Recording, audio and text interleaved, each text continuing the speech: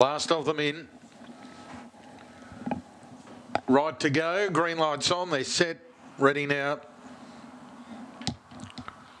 Racing, more wine please. Began well. So did Ramali going out hard to lead initially. In the centre, Crimson Cannon booting up on the rail, Grumpy Sailor. And right around them goes Toxic Slime there to go up and take the lead and shot clear. Midfield, Rev Carita, Crimson Cannon last, Minardo. Toxic Slime set up a big break out by five now to Grumpy Sailor, Ramali. Wide out, more wine please. But Toxic Slime well clear to Grumpy Sailor. And Toxic Slime comes away to beat Grumpy Sailor. Crimson Cannon and Ramali, and they're followed by More Wine Please Minardo. Last Rev Carita, and the run's a good one there, 25.31.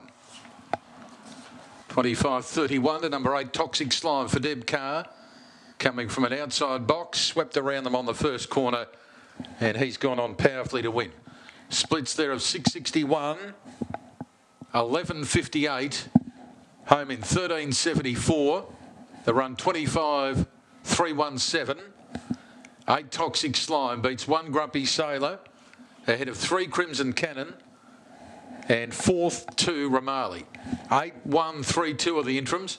Eight one three two. Eight one three two. It's three and a half.